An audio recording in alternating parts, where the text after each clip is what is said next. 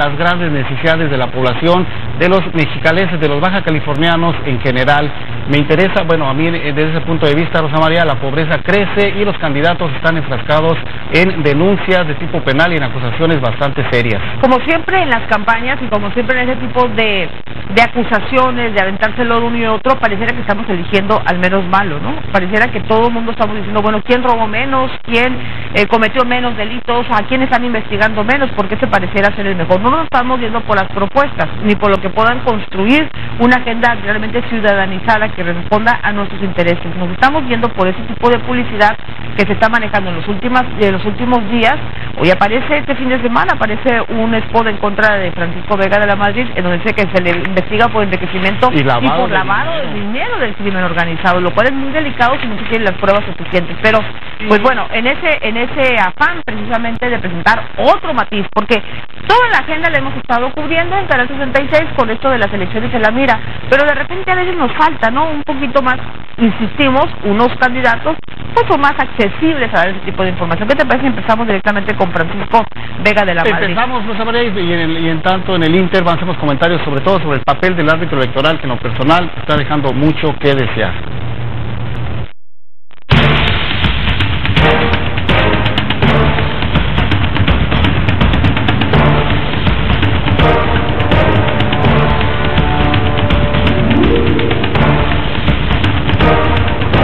Vamos muy bien, vamos muy bien.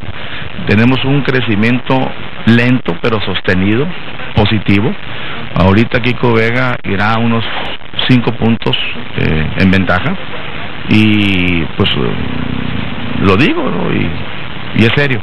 Yo soy el que menos eh, se debería de engañar. Estoy contento, he tenido un recibimiento extraordinario. He estado eh, recopilando muchísimas propuestas.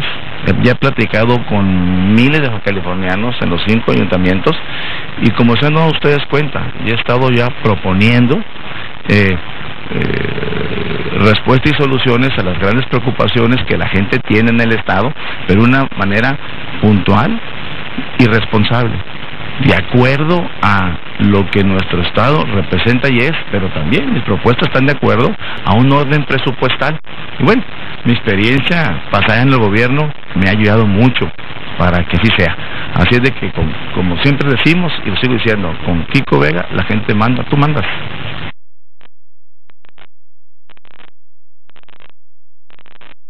Este calorcito para mí no es extraño. Recuerda que viví seis años aquí en Mexicali ¿eh? y conozco el calor y conozco a su vez también pues de las de los recibos de la luz que llegan caros. Seis años yo también saqué de mi bolsa dinero para pagar.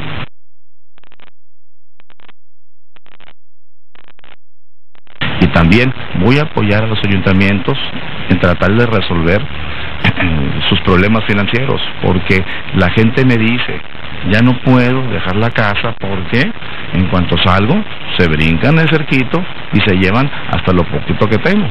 Y si no encuentran qué llevarse, pues hasta llegan hasta el tendedero. ¿Qué sucede? Bueno, están tan comprometidos los ayuntamientos por las grandes deudas que tienen que eh, están siendo incapaces de atender, ¿sí? Eh, pues lo que lo que se debe hacer, ¿eh? que es la prevención en materia este, eh, de seguridad, eh, la iluminación, o sea, el empleo público, la recolección de basura, esto no puede darse. Tendremos que salir. Yo soy municipalista. Vamos a tener un gobernador municipalista. ¿eh? Yo ya fui presidente municipal y yo perfectamente sé de necesidades y de, y, de, y lo que la gente quiere y lo que la gente se preocupa.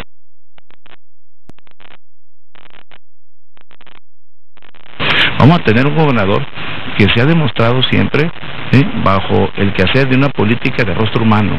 Y no me refiero a mi, a mi rostro, olvídense, una política en el sentido humanista. Yo soy de los que vamos siempre todos agarrados de la mano a resolver nuestros problemas, pero si estos problemas van más allá de lo que la ley nos obliga, hay que hacerlo. O sea, lo he hecho en otras ocasiones. Bueno, las estancias infantiles comunitarias es una prueba de ello. O sea, Hacer estancias de guarderías no es responsabilidad de ningún presidente municipal. Y aquí les platico a ustedes, ese programa lo hicimos porque la gente lo pedía. Que también nosotros conformamos un consejo ciudadano eh, eh, municipal en el apoyo de la educación, que fue modelo a nivel nacional, lo tomaron de él, y también conformamos un consejo ciudadano municipal a favor del migrante. Tenemos un problema de migración y, hay mucha gente en nuestras calles este, eh, que hay que atender.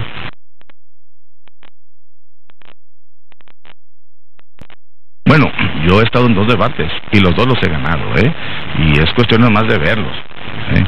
Por cierto, me dio mucha, me dio mucha, mucha preocupación lo que un joven me comentó ayer por la mañana, ¿no? Y me dice, oye Kiko, ¿eh? yo no sabía que en política también había bullying. Dije, ¿a qué te refieres? Al bullying que te hicieron ayer el candidato del PRI y el de Renova en tu debate. Dice, ¿y sabes qué? Eso lo único que hace es desanimar. Y sí es cierto, ¿eh? Y sí es cierto.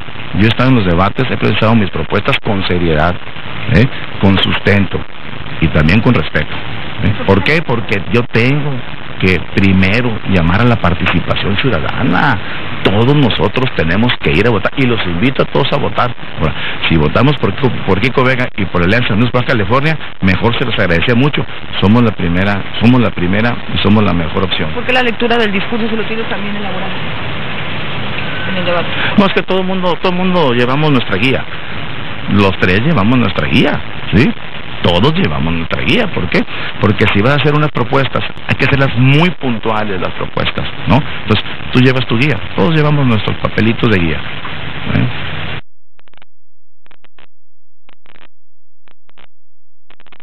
Bueno, yo lo que he pedido es de que el 50% de mi agenda me lo den en las colonias.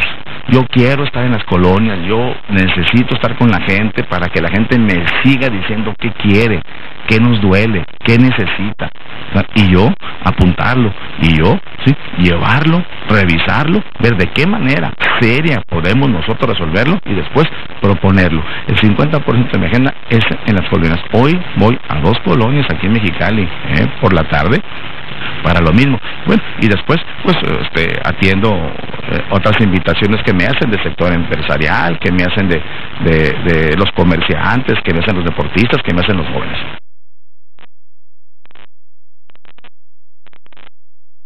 Sí, se dice, ahí está. Y luego nos, nos acusan de campaña negra. Aquí hay una diferencia, ¿no? Que ahí está la campaña, ¿sí? pero la campaña tiene rostro y tiene nombre. Entonces, cuando alguien sale ¿sí? y dice las cosas, yo no creo que eso se pueda considerar una campaña. ¿A qué Vega le preocupa que se le ¿Eh? aparezca el diablo? No, porque a mí me cuida Dios. ¿De verdad? De verdad, y siempre me ha cuidado. Manda un saludo a, los... ¿Y te puedo enseñar mi escapulario que traigo aquí en la cartera? ¿Cómo?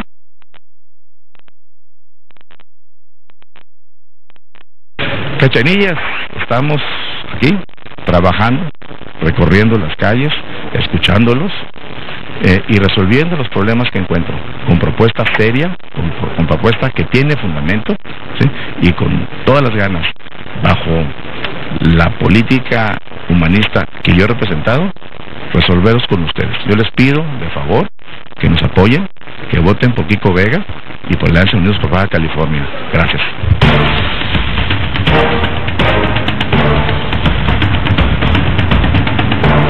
Ese subsidio de 38.5 millones de pesos que se tiene, eh, que va y apoya a las, a las personas y las familias más vulnerables eh, en el sentido, pues, sobre todo, de pobreza, ¿eh? se incremente a 50 millones de pesos.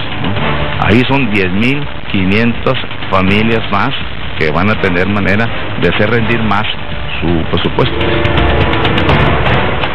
ya me comprometí a invertir 90 millones de pesos del excedente que tienen aquí en el Congreso, que, este, sabemos. Y sabemos por qué, eh, para que la verificación vehicular no nos pegue tanto. ya me comprometí que de ese recurso, 40 millones de pesos que tienen en exceso estos diputados, ¿eh? ahí vamos a, dedicarle 100 millones de pesos ¿eh? a la creación de estancias infantiles comunitarias. Y yo sí sé de lo que estoy hablando, ¿sí? Yo ya las hice. Recuerda que con Frente Municipal eh, creé un programa de estancias infantiles comunitarias, corté 83 listones, le dimos atención a más de 2.300 niños. Sobreponiéndose a las críticas que lo señalan como temeroso, sobre todo en los debates, del candidato de la Alianza Unidos por Baja California, Francisco Vega de la Madrid, dice que va avanzando en la obtención de su triunfo para ser el próximo mandatario estatal. En te informa que está Rosa María Méndez, cara de las noticias.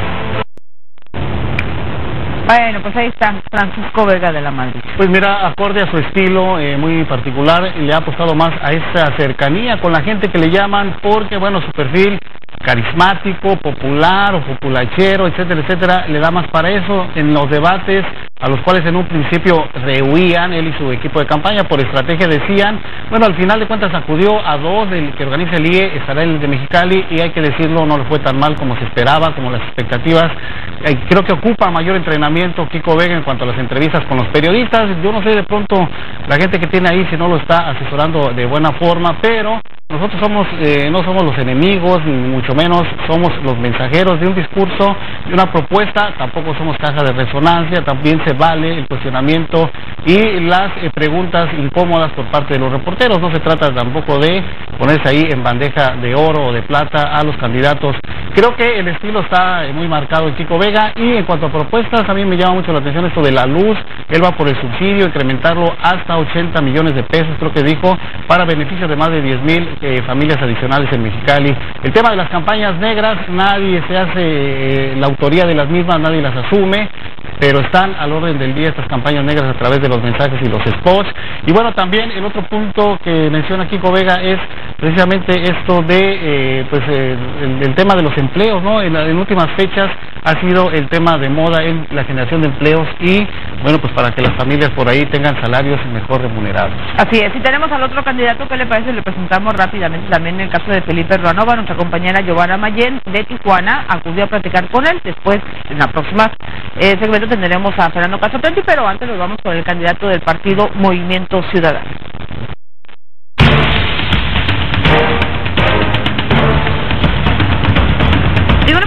Una oportunidad de acudir a entrevistar en su casa al candidato a la gobernatura de Movimiento Ciudadano, el ingeniero Felipe Daniel Ruanova Zárate, un candidato que nació en México Distrito Federal el 21 de julio de 1945, con estudios en México y en el extranjero, egresado como ingeniero industrial con opción a química y CETIS de Mexicali. Ha obtenido cargos públicos, colaboraciones periodísticas, contribuciones sociales y participaciones políticas. El arranque oficial de las campañas políticas se llevó a partir del 25 de abril en el estado de Baja California. A la fecha, se ha visto ausente en las calles el apoyo de los simpatizantes del candidato a gobernador Felipe Ruanova. Sin embargo, en los debates se ha destacado por su actitud controversial al atacar y acusar al Partido Acción Nacional constantemente por irregularidades en sus gobiernos. Hablamos con el candidato de resultados, propuestas y de las respuestas por los ciudadanos en lo que va de esta campaña electoral.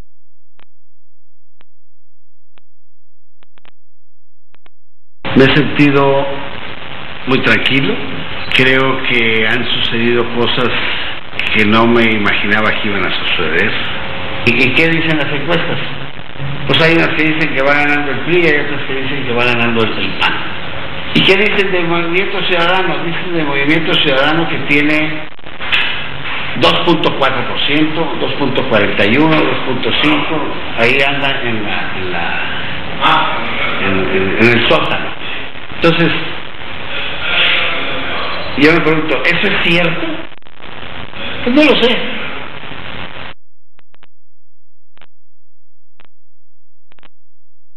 Las encuestas las mandan a hacer quienes están preocupados por perder la elección y luego las publican ¿eh?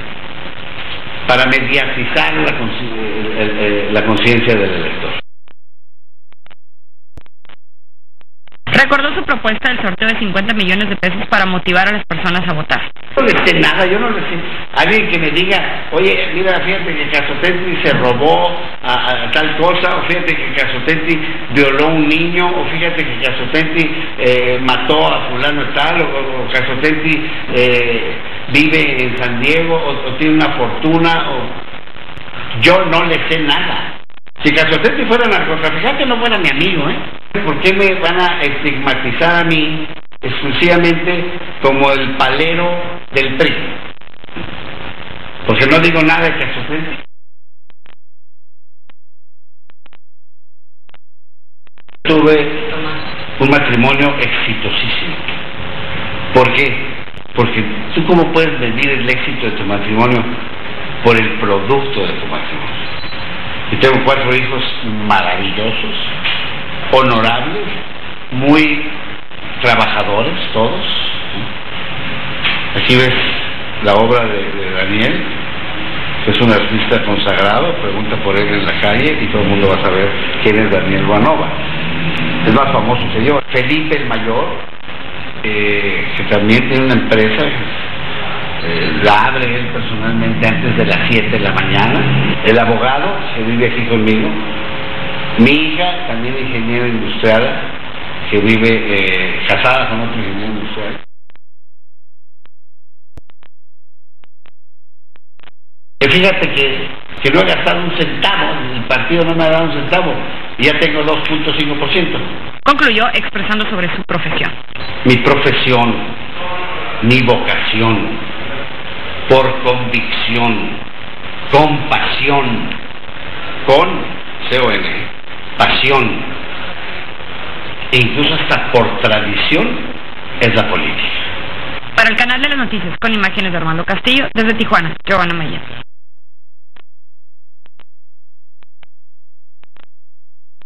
¿En qué momento entré a la política? Así, la política profesional a los 12 años. Algunas de sus propuestas son 25 propuestas sobre la democracia, 50 sobre infraestructura para el desarrollo, 20 sobre seguridad pública, 5 de congruencia jurídica, destacando el plebiscito. Propuesta para que ya no haya diputados de partido, que no haya regidores de partido, que se empaten las elecciones eh, con las federales desde el 2015, en dos años, empatadas, y que los últimos eh, eh, presidentes municipales y que los eh, últimos diputados duren nada más dos años, pero electos desde el 2015. ¿eh?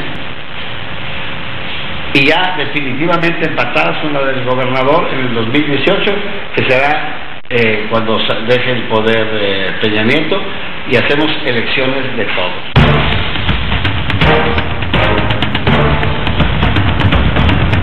Yo soy político. En el ADN de un político está postularse para candidato en todo el proceso electoral. Si tienes propuestas, si tienes para qué hacerlo, por qué hacerlo, qué, qué es lo que te motiva, no ser candidato o ser electo. Te motivan las propuestas, que vayan a votar. Que no inventen excusas para no ir a votar. Que no hay ciudadano más irresponsable que el que no vota. Sin lugar a dudas que lo que menos le preocupa al candidato Felipe Ruanova del Partido Movimiento Ciudadano es que le hagan aparecer como un político polémico. Quizá hasta lo disfruta, de acuerdo a lo que él mismo comentó. En contacto informa que es Aníbal Rosa María Méndez, Canal de las Noticias.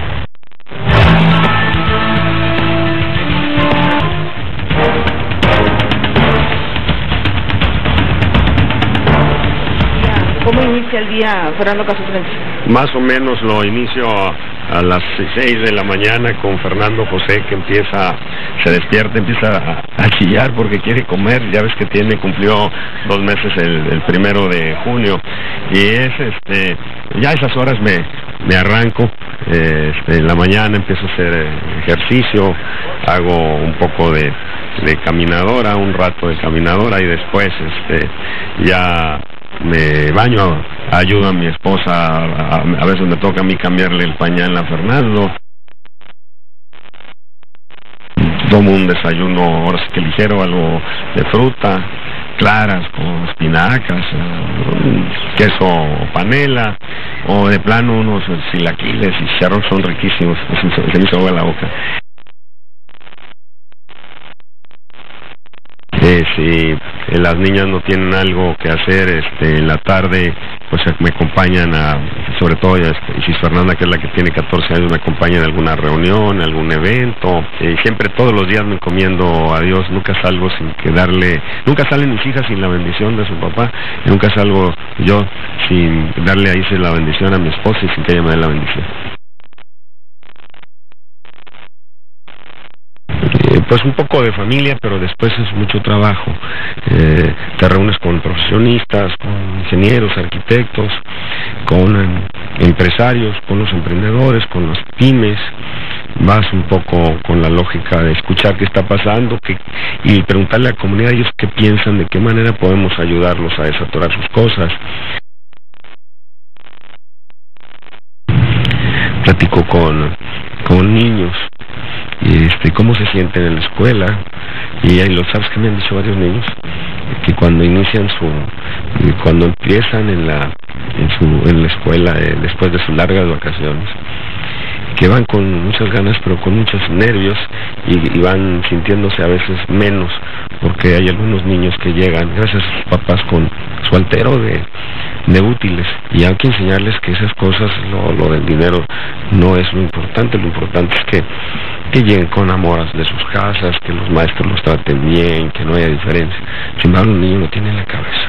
De ahí mi idea de darles útiles escolares gratuitos a, los niños de secundaria, de primaria, uniformes a, los niños para que y esos uniformes pues que los hagan en los talleres este las las emprendedoras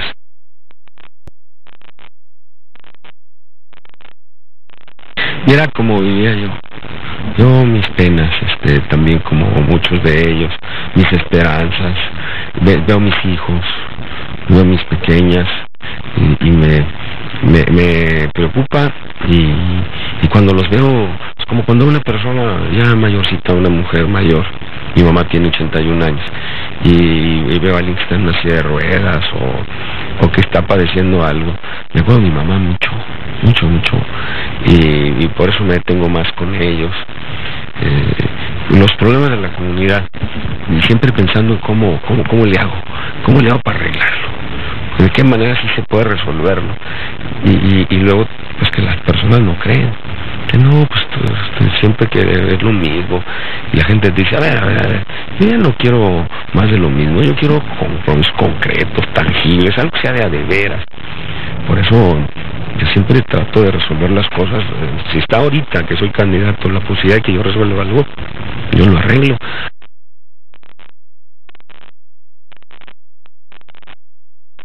Este, hay gentes que cree que uno todo lo puede.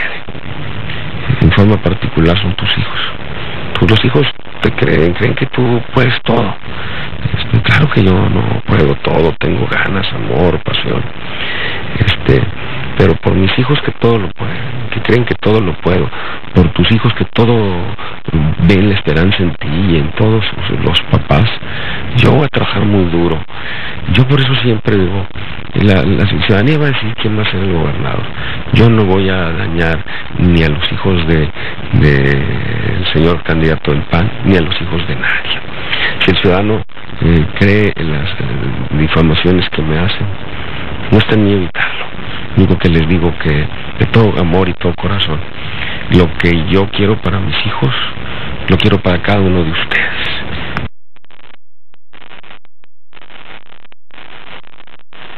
Lo que siempre traigo es a Dios en la cabeza. Si yo tengo un diálogo, como yo creo que todos los ciudadanos a veces les da pena decirlos, pero si eres niño y vas a presentar un examen, dices, ay Dios mío, que no lo repruebe, que no lo truene. Si tienes algún, vas al laboratorio, te tienes algún dolor de algo, dices, Dios mío, que no sea cáncer. Siempre estás pensando en Dios. Yo siempre pienso en Dios.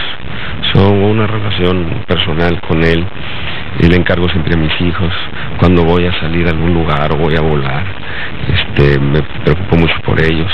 Pienso en mi esposa. Este, siempre las encomiendo a Dios cuando mis hijos mayores salen a algo y no sé algo de nada de ellos, me mortifique, le pido a Dios que les vaya bien.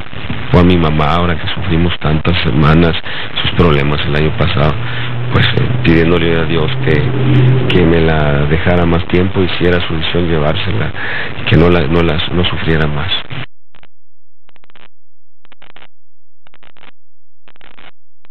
Sobre todo, eh, por aquí entró una esperanza hace 24 años.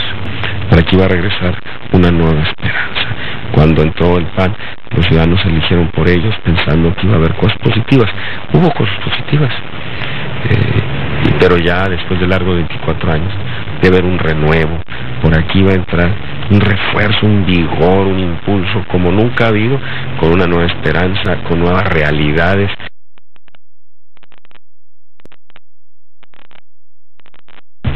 Me visualizo contento, eh, levantándome muy temprano, eh, revisando eh, cómo están los que me acompañaron, los colaboradores, cómo se sienten después de tantas semanas, eh, platicando con la comunidad, dándoles las gracias porque a pesar de la campaña negra me dio la oportunidad de ser gobernador, empezando a trabajar. Yo soy hiperactivo, duermo muy poco. Este, la vida se va muy rápido. Yo soy de las personas que nunca dejo para después lo que puedo arreglar ahora.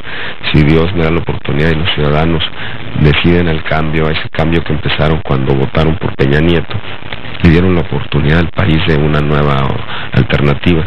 Si los ciudadanos continúan con el cambio y votan por Castor Trenti, por ese cambio que tienen frente a ellos, yo rápido me voy a poner a trabajar muy duro para que esos meses, julio, agosto, septiembre y octubre, este, demos, empecemos a dar soluciones inmediatas.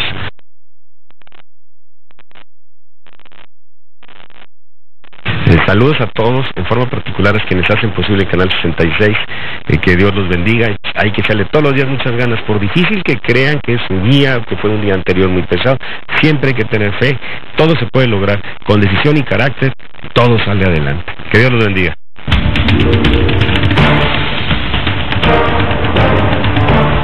A la asociación entre el gobierno del Estado y los agricultores permita que el gobierno del Estado sea el que abra los caminos de la comercialización.